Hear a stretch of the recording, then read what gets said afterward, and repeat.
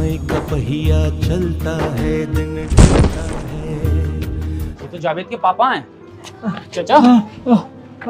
चाचा आपकी तबीयत तो ठीक है? बेटा तबीयत तो ठीक नहीं है।